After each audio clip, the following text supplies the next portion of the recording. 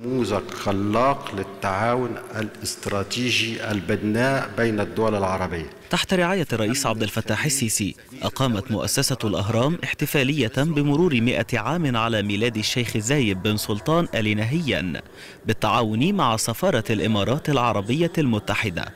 وذلك تحت عنوان زايد في قلوب المصريين. حضر الاحتفالية رئيس الوزراء وعدد من الوزراء والشخصية العامة. إنه لمن دواعي سروري أن أكون معكم اليوم وسط هذا الجمع الكريم الذي ائتلف على حب وتقدير سمو الشيخ زايد بن سلطان آل نهيان.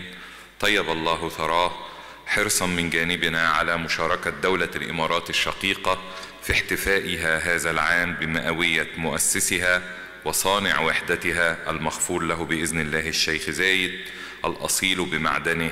الخالد بمآثره. تشرفنا كثير جدا يعني بهذا التواجد.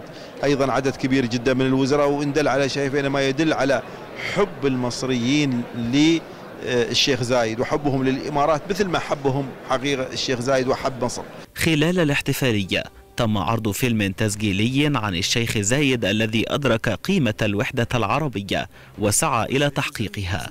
وفي عام 1971 نجح في بناء أول فيدرالية عربية كما أيقن أهمية الجوار والحوار وساهم بدور بارز واستضاف أول قمة عربية في أبو ظبي عام 1981 جمهورية مصر العربية هي قلب العروبة النابض.